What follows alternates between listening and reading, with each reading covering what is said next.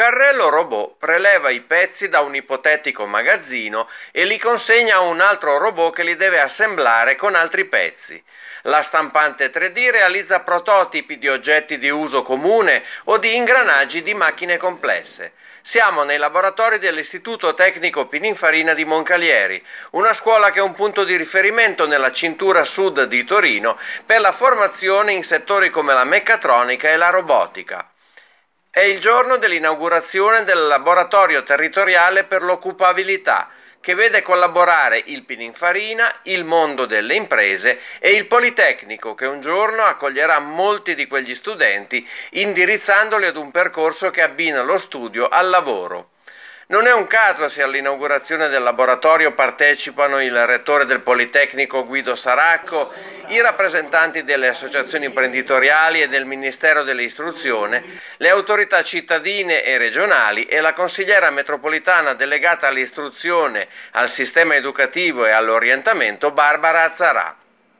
Il laboratorio è nato grazie a un finanziamento del Ministero e al cofinanziamento di istituzioni e imprese pubbliche e private che hanno messo insieme circa 800 mila euro, dando vita a una struttura aperta a studenti, docenti, aziende e cittadini, che pone la scuola in stretto rapporto con la nuova filiera della formazione, di cui fanno parte istituzioni locali pubbliche e private, università, centri di ricerca e imprese, puntando sulla meccatronica, la ricerca, l'elettronica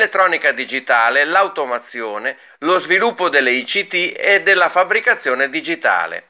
Nel laboratorio si impara facendo, combinando formazione disciplinare, ricerca e sperimentazione in laboratorio, esperienza sul campo, imprenditorialità e sviluppo teorico e pratico di idee innovative per fare sinergia e eh, utilizzare uno spazio che è uno spazio altamente qualificato per fare attività di sperimentazione, ricerca, formazione del personale, formazione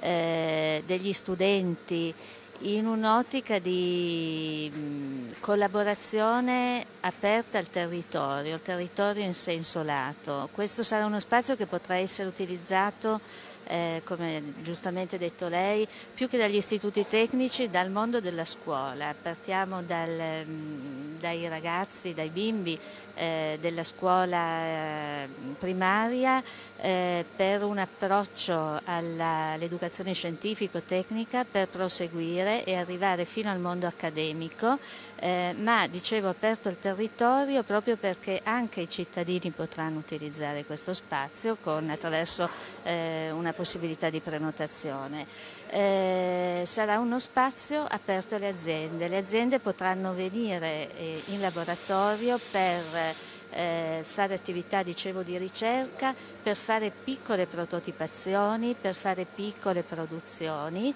per formare il proprio personale. Quindi uno spazio direi che agisce a 360 gradi.